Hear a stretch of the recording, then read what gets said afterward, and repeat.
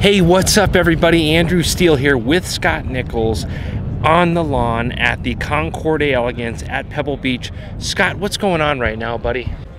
Right now, they're actually beginning to start pulling cars for awards on the uh, on the main stage. So everybody's kind of on pins and needles and wondering if they're actually going to be pulled.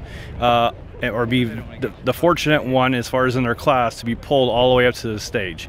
So I know that I I have a couple of cars here that I'm really really pulling for like this uh, 1968 Lamborghini Miura uh, it's actually the original movie car from the movie Italian Job. So right now we are that's one of the ones I'm pulling for. The other one I'm pulling for right now is a 1965 Lamborghini uh, 3500 GT Zagato. Tell us a little bit about this Lamborghini this Lamborghini is a 1965 Lamborghini 3500 GT Zagato.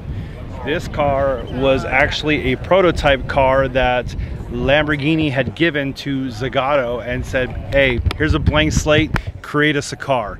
And so two coach building houses basically were competing for a Lamborghini contract. One was Zagato and the other one was Bertone.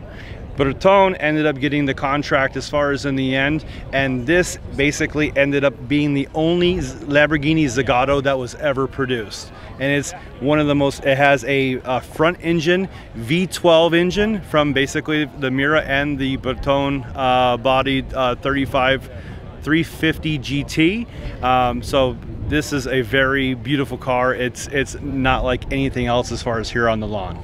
Uh, that car is a very special uh, car as far as uh, that we've spent a lot of time on and that we've been so uh, fortunate to be able to maintain over a period of years. So it just got back from Kyoto, Japan, which are where it won Best of Show.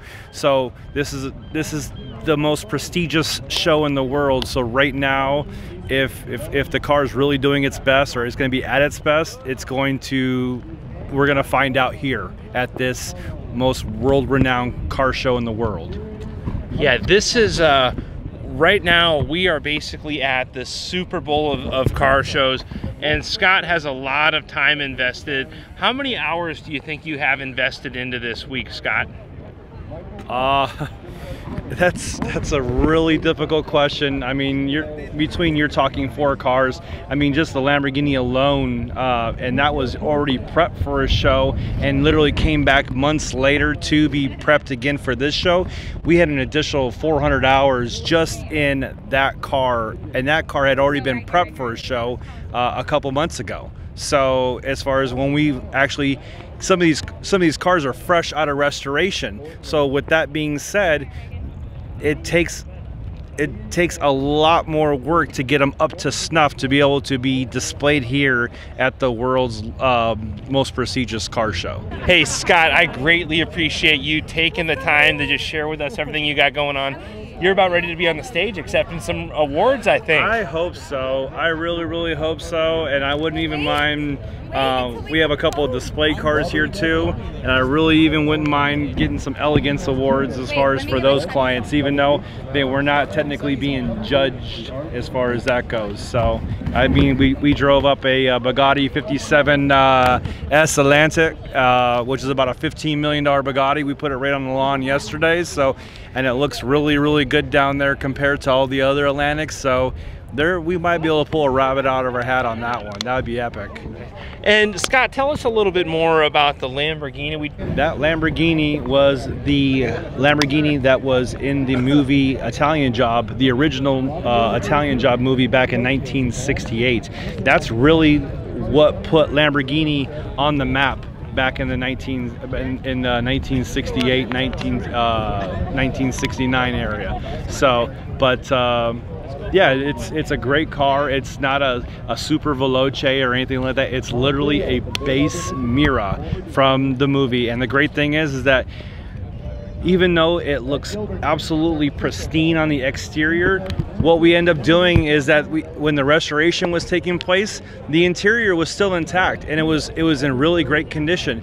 So they actually kept the original interior of that car. So whenever we got the car in from one of our clients in Switzerland, we actually prepared the exterior like we would like we would do any other car, uh, but a lot more effort and a lot more nth of detail. It's a great car, and it really has a, a very strong chance on uh, placing as far as here. Even though there's some very stiff competition, like as far as one of the other clients that we did some work on, uh, which is uh, Jean Todt, uh, who's the uh, FIA director for Formula One, and we also did some, uh, and he used to be the head main person at Ferrari for Formula One for many many years back in the early thousands when they were very very, very dominant. I greatly appreciate all of you watching today's video. Make sure to subscribe if you want to see more videos with Scott and more cool stuff like this. Thank you. Any last words for him, Scott?